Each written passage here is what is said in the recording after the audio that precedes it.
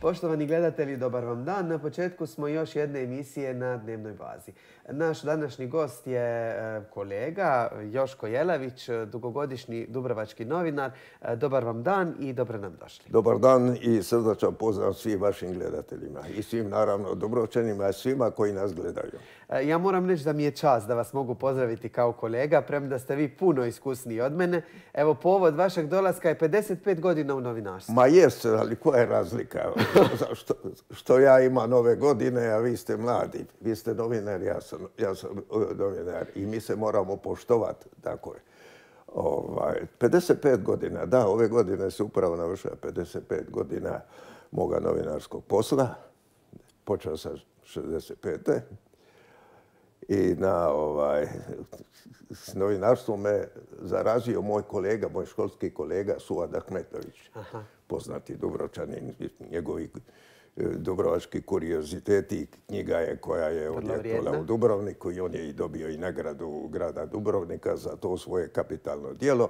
Dakle, on me, na neki način, ja sam tada radio u Trpnju e, u turističkom uredu, bio sam voditelj turističkog ureda ovaj, u Trpnju i onda je on došao nekim poslom, pa govori zašto ne bi još ovaj, se ugledao i u pisanju. I tako se ja počeo pisati za Dubrovački vjesnik. Za Dubrovački vjesnik, potom Slobodnu Dalmaciju, onda sam se javljao isto tako za Radio Dubrovnik. To su za Radio Dubrovnik slao bi ovaj, vijesti, nisam se javljao ovaj, glasom i onda je Slobodna Dalmacija raspisala natječaj za svoga stalnog dopisnika u Dubrovniku.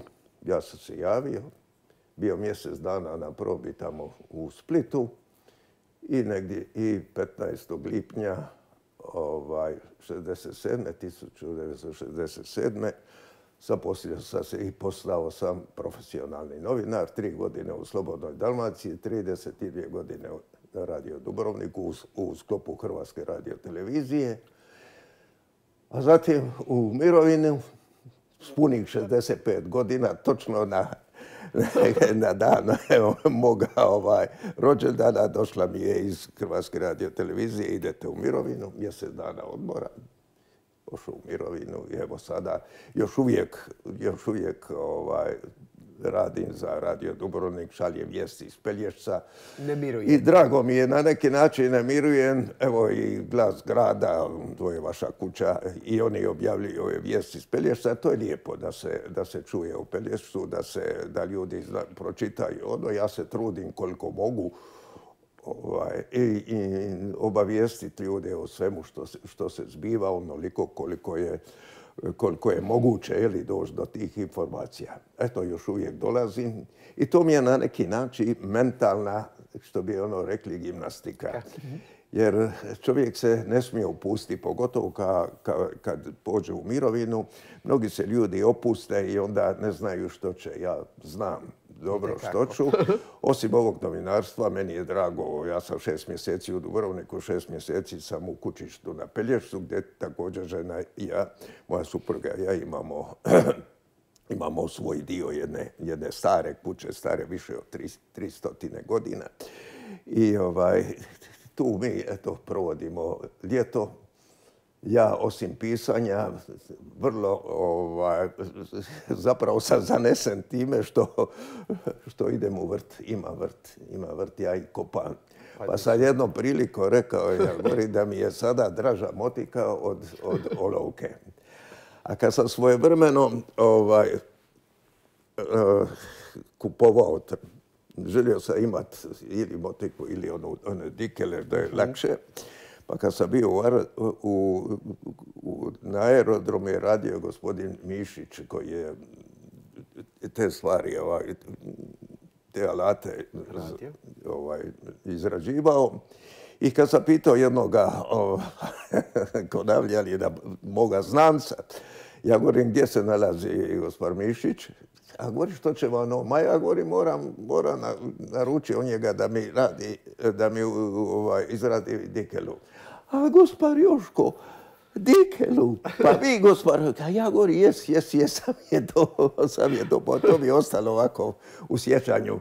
Ali ovaj, zaista to je, to je na neki način jedan ugodni fizički rad. Kad čovjek ovaj, vidi što, ovaj, što raste iz zemlje. Evo sad, za mjesec i po dana želja i ja ćemo, ve, a valja ići na Pelješac, valja izorat ono, ono malo vrta što imamo i treba posati patate. Tako da su patate uvijek nama ovaj, nekakav orijentir završava, završava zima, dolazi, dolazi proljeće, treba sati patate. Imamo tamo i drugoga, drugoga zelenja, naravno pamadore uvijek, to je, to je klasika salata, pamadore, kupusi i tako dalje, ima i mladi grah i to je to. Kad se osvrnete na tu 1965. i svoje početke, je li vam se to čini nekako daleko, davno ili kao da je bilo jučer? Sve se čini kao da je bilo jučer. To je nevjerojatno. To je nevjerojatno, ali to zapravo u tren sve pođe. Ima ova, jedna e, draga gospođa, gospođa Nina Vodopić, ovaj, koja je autorica nekoliko, nekoliko dijela sad je tiskala jednu svoju novu knjigu i među ostalim ima jedna, jedna uzrečica na Pelječcu, kaže ovaj, do 50 godina kako išta, a od 50 kako ništa. Odlično. Tako je ona govore, a onda je njezina, njezina knjiga nosi naslov Teku dani kako rika, a godišta kako ništa. Odlično, nisam to znao. Eto, tako je to. Eto, evo, ja je pozdravljam u ovom trenutku, ako ona mene pogleda, meni je to jako draga gospođa, s njom se jako dobro surađivo, urednica, bila je dugogodišnja urednica glasila, glasila župe uznesenja Marijina u Kuni, ovaj, zvona, zvona Delorite, koji izlaze evo već 22. čini mi se 22. godinu. Jedino takvo glasilo na Pelješcu koje izdaje to, u kojem ima i crkvenih, naravno i vjerskih, ali i svjetovnih događanja i cijela jedna kronika povijesti, sadašnjosti ovaj, Pelješke župe i tog dijela Pelješca. E, kao što ste rekli, najveći dio vašeg radnog vijeka, ali zapravo i životnog, vezan je uz radio. Da, da, da, radio Dubrovo, radio je, radio je moja posebna ljubav, radio je moja posebna ljubav. Dakle, ja sam se ogledao i u pisanom novinarstvu i dakle i ovo radijsko, neko vrijeme čak i, i za televiziju, za hrvatsku televiziju kad sam mijenjao, kad je u Zagreb pošao gospodin pokojni, nažalost, Baldo Čupić. Ovaj, neko vrijeme sam čak i za televiziju, ali to je bilo, to je bilo kratko, ovako sporadično. Ali radio je moja, ovaj, moja ljubav. Ja sam radijski čovjek i meni je bilo jako drago. Osobito sam volio emisije uživo, uh ono javljanja uživo s terena i to mi je na neki način bilo, bilo ovaj, najdraži posao i sada, mislim, volim, radio i drago mi je to što me mlađi prihvaćaju i što još uvijek ovaj, ja, mogu s njima. Dobro, slušali su me mnogi, moja, moja je poznata bila uzrečica, ja kažem, mene, mene slušaju mnogi, a ja slušam ženu. pa mislio, mislio netko bilo što drugo, ali to je tako. Odlično. Nadam se da je supruga suglasna, pa ćemo je pozdraviti. E, osobito je važno to da ste na Radio Dubrovniku bili u najtežim danima i to Ma je, to, to je istina. dobro, bilo je, bilo je. Nikad, nikad e, vrijeme nije bilo ni crno ni bijelo. Mhm. Uvijek je bilo i, i lijepih i, i loših trenutaka u, u cijelom tom mom novinarskom vijeku, tako da nije ništa bilo ono vodoravno, što bi rekli. Uvijek je bilo uspona padova ovakvih, ali dobro, ali to, to doba e, domovinskog rata, agresije na Dubrovnik, mislim, to je bilo nešto, nešto nevjerojatno. To, to je trebalo izdržati i ne samo, ne samo ja, nego moji najbliži suradnici u radiju, svi oni koji su stvarali program u tim najtežim uvjetima. Ja im moram, moram duboko zahvaliti na svemu što su oni učinili zajedno sa mnom. Ovaj, ja sam bio prvi među, među jednakima i, I, vaše i, glas čeka. i najodgovornije. Da, ovaj, javljao sam se svojim glasom i ljudi, ljudi su navikli u, u, u, u ratu slušati moj glas i kad su, kad su mene čuli i moje kolege, onda su znali da je, da je Dubrovnik još tu, da, nije, ovaj, da, da nije ovaj, ne do Bog došao u situaciju da bude ovaj, da bude okupiran i, i da bude i, da bude ovaj to bi, bila, to bi bilo nešto strašno. Jeli? Ja sam uvijek govorio, uvijek sam u sebi mislio, ba to se ne može i ne smije dogoditi, jer onda Hrvatske ne bi bilo. Hrvatska bez Dubrovnika nije Hrvatska. Um, važno je eto nama da surađujete u glasu grada isto već e, popriličan broj godina. Pa eto, zahvaljujem uredništvu Bob Drago. Lijepo vas imat kao člana redakcije. da, mom dragom prijatelju ovaj, Antonu Švagu i svima, gospođe i svima vama. Eto, izlazi ovaj, u, glasu grada. To su, to, su, to su vijesti i informacije s Pelješca, pa neka se čuje i o Pelješcu, neka, neka ljudi imaju što pročitati. Koliko se Pelješac kroz sve te godine promijenio? Ističe se pa promijenio se dosta. Promijenio se dosta, nažalost. Nažalost. Nažalost. E, u demografskom pogledu je gotovo opustošen. Ima ima, ima mjesta koja više, koja stvarno i stare i sve manje, sve manje ljudi. Iako Pelješac ima sve uvjete za jedan, jedan dobar gospodarski razvitak. Ima, ima turizam, ima vinogradarstvo i vinarstvo kao drugu po značenju gospodarsku granu, ima ribarstvo, ima ima i druge prirodne i, druge ljepote, ima svoje specijalitete. Od stona, od stona pa, pa do od, od, stonskih kamenica pa do panske i tupske butarde. Mhm. To je ikra od, od cipla ovaj, bataša koja je nekad se proizvodila u dosta količinama, onda je bilo i ribe, sad je toga puno mhm. manje. I to je jedan od najskupljih, najskupljih poljoprivrednih mislim, proizvoda od, iz ovaj, u ribarstvu i, i poljoprivredi ima vrhunski dingač, vrhunske kamenice, vrhunska Znači imamo, imamo se čime, ima se Pelješca čime pohvali. Nažalost, nažalost, eto tako, unutrašnjost Pelješca pomalo kopni, što nije dobro. Hoće li izgradnja Pelješkog mosta i ceste preko Pelješca u tome pridonijeti, ja, se ufam u Boga da, da će se to dogoditi. Da će ljudi, ovaj, da će ljudi naći načina i naći razloga da žive na Pelješcu. A mogu dobro živjeti. Mogu dobro živjeti. Eto, turizam, turizam, vinogradarstvo, sve to, to se može lijepo složiti. Spominjete turizam, e, izdanje gospara Lukše Lucijanovića, e, oni su stvarali dubrovački turizam, dijelom je posvećeno i baš vama. Pa dobro, mi smo, mi smo jedna, jedna skupina ljudi koja se eto našla i na neki način ovaj, pokušava, pokušava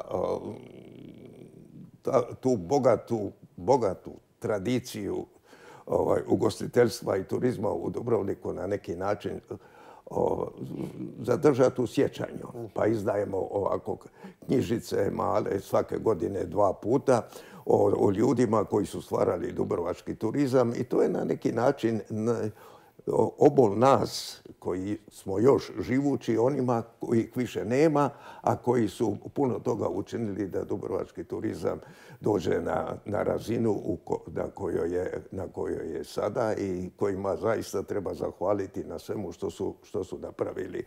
I to je jedna plemenita ovaj, ideja i plemenita, plemeniti projekt i ja se nadam da ćemo ga nastaviti, a i za nas da će neko neko to preuzeti kad, kad mi, mi više ne budemo u stanju to raditi.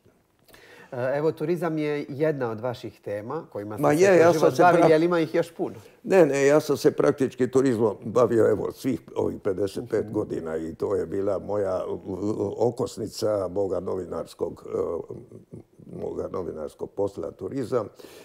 I pratio sam sve moguće i nemoguće skupove koji su bili tu u Dubrovniku i, u Dubrovniku i, vani. Tako da su moja, ovaj, moj rad u turizmu je bio dosta i zapažen i dobio sam i dosta i priznanja za, to izvješćivanje, ali to je, to je manje važno. Važno je da sam zapravo nastojao pratiti sve ono što je bilo što je bilo vrijedno i što, i što je trebalo, trebalo zabilježiti.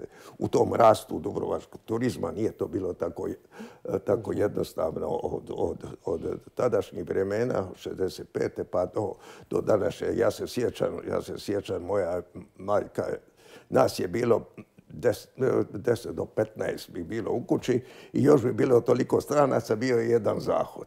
Uh. Jedna banja. Onda možete misliti kakav je onda, kako je to onda bilo tamo negdje 60. godina i kakva je sada situacija kad je zapravo cijeli grad postao apartman. E sad, što ćemo? Kakav komentar? Što reći? što reći? je li ta je li ta apartmanizacija dobra i nije. Ne može se zamjeriti ljudima jer ipak, ipak se od turizma može zaraditi, ali ja bih preporučio ljudima da, da ta njihova usluga bude na najvišoj mogućoj razini i, i da ne budu i da prema gostima budu i ljubazni i da na, na neki način njima pruže ono što su oni platili. Ako, ništa, ako u najmanju ruku to, a bilo bi dobro kad bi bilo i malo više, onda bi, onda bi se puno i gostuju i vraćalo i tako dalje.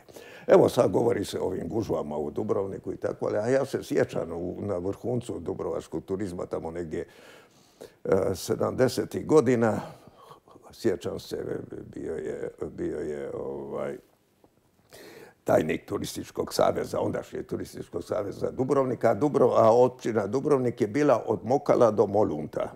Orebić je bio pod, pod Korčulom, e, da je pokojni tajnik Hamid Đuborek govorio, mi bi ga, mi ga pitali, Hamide, koliko ima gostiju, to bi bio negdje srpan kolo, kaže 72 tisuće u, u Dubrovačkoj općini, a od toga 45 tisuća u gradu.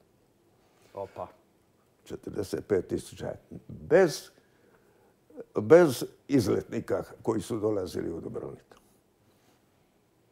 Niko se nije tužio na, na veliku gužvu. Sve se ulazilo. Ja se ne sjećam da je bilo nekakvih velikih problema na ulazu u Pile. Najviše, najviše gužve kojih se sjećam uvijek je bilo na Svetoga Vlaha. Da. Eh, kad bi ljudi ulazili, izlazili i tako dalje. Ali onda doba baš i toga i nije bilo. to e, Pratili ste život grada sve te godine kroz e, novinarstvo.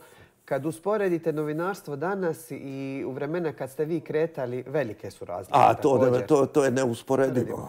To je neusporedivo. Novinarski posao je praktički isti, ali, ali su ali sve, sve drugo je Ovo sve različito. Sve drugo je, sve drugo je različito. Sad je internet, sad je Facebook, sad su društvene mreže. Ja nemam, ja imam običan ovaj, mobitel, ja nemam ni interneta, nema ni Facebooka, nema ništa. Ja se s time ovaj, ne želim opterećivati. Nikada nisam vozio auto. Ali stizao, sam obaviti sve.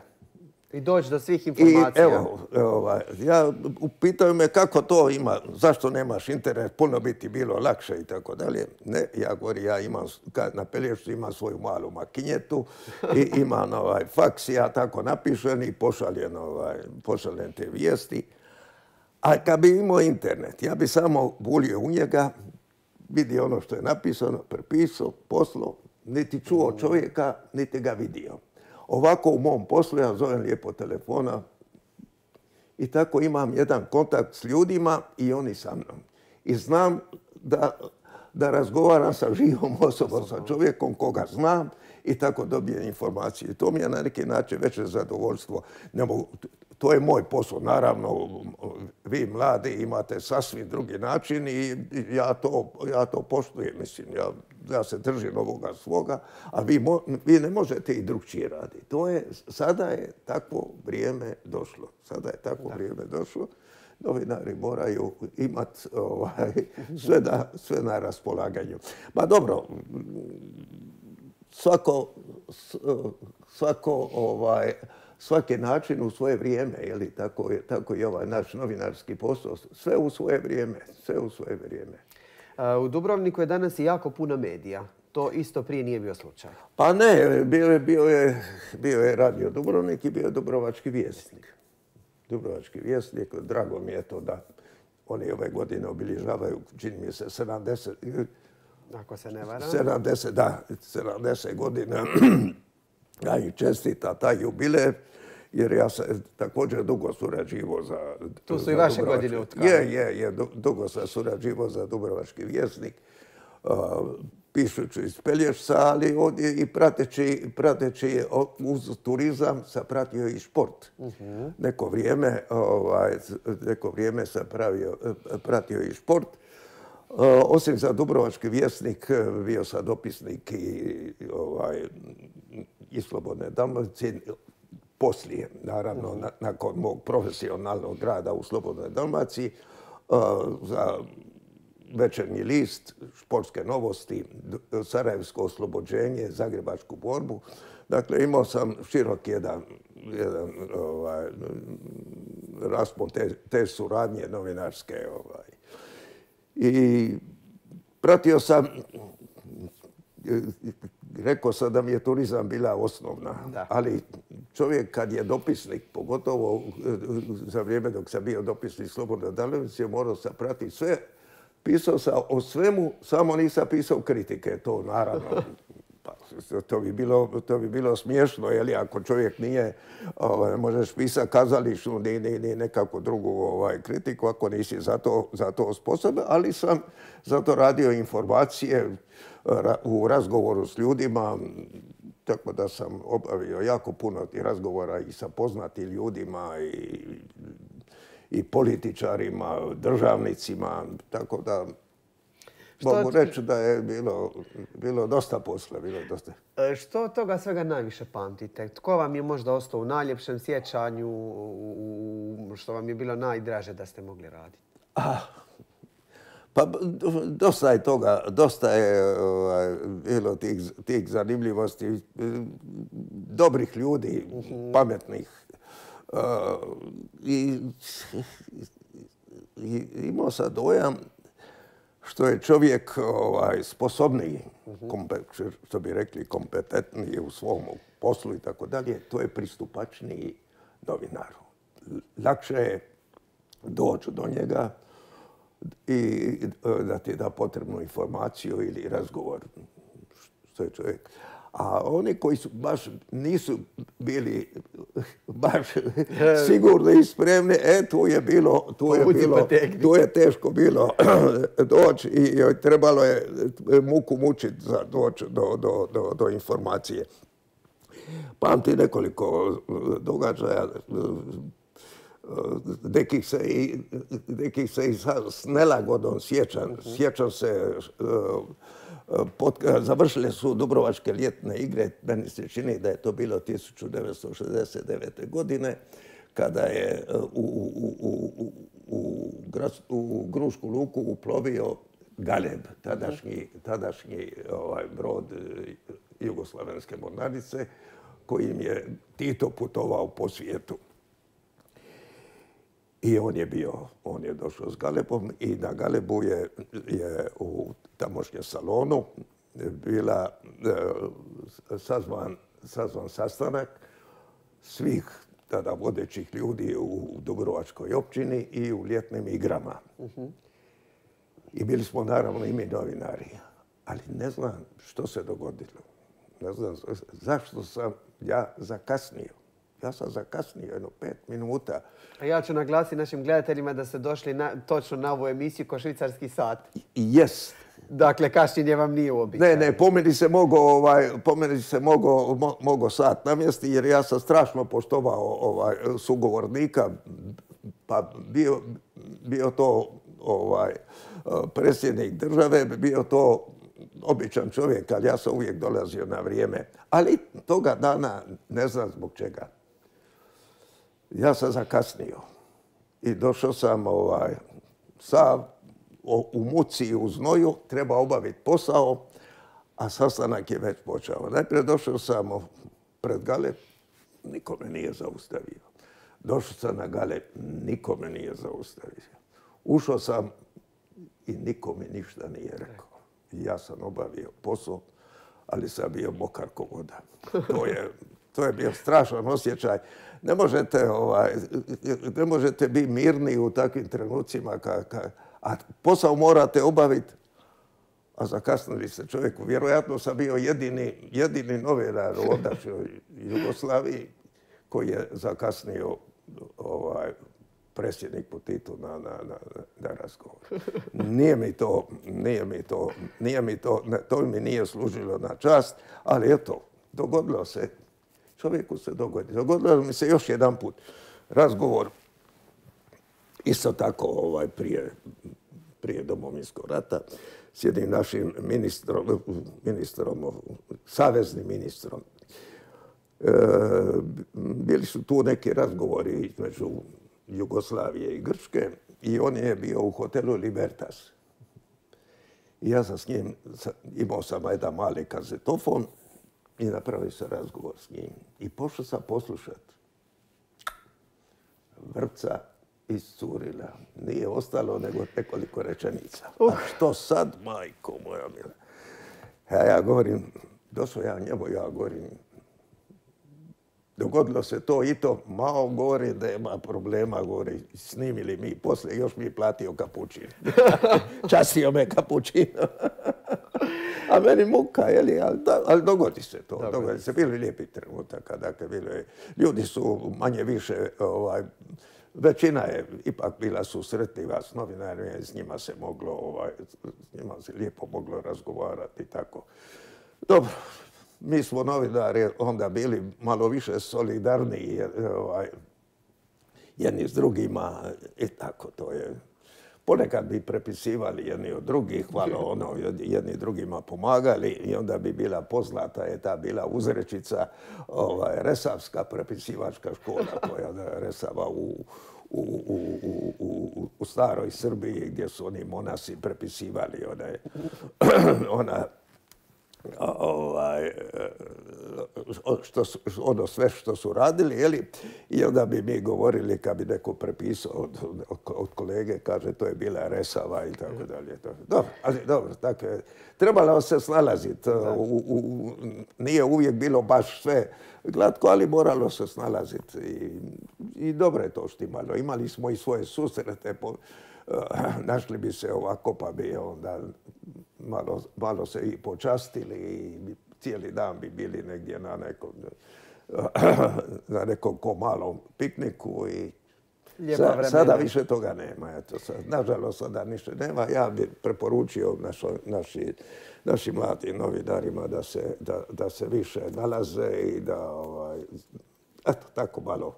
ako ništa drugo, da bar razmire mišljenja i da, se, popiju kavu zajedno i tako pročakulaju, provesele se i tako. nema toga, eto, to je to. Eto, tu je ta razlika. Da. Tu je ta razlika. Sad sve to ide brže.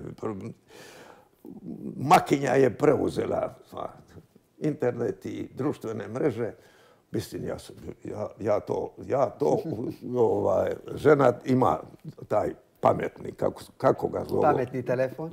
daleko to da, je, to pamet. nema, tu nikakve, nema tu nikakve mudrosti. Ona voli to i gotovo se zarazila time, a ja uopće se na, te stvari ne obazirem i te društvene mreže, to je zlo. Ne može se, ne može novinar ovaj, cijeli, cijeli svoj prilog temeljiti na onome što je napisano na društvenoj mreži. Mislim, to, da. Za mene to vi ćete se držati ono dobro... Novo doba, novi običaj, to ću ja. Vi ćete se držati ovog dobro utavanog Još uvijek. Dok mogu. Dok e, mogu. I želim vam od srca da to bude još dugo. Puno vam hvala na ovom razgovoru danas. E, ja vjerujem da će mnogim gledateljima biti drago ovo pogledati i onima koji su se možda naknadno uključili.